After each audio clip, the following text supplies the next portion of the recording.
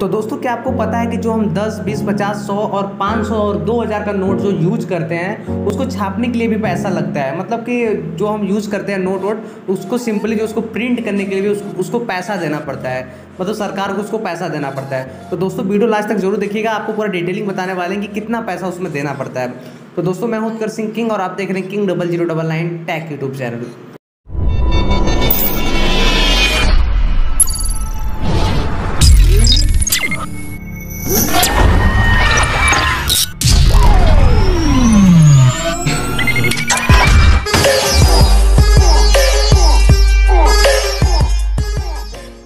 तो दोस्तों 10 का नोट छापने के लिए 1.01 पॉइंट रुपीज़ लगते हैं मतलब एक नोट छापने के लिए।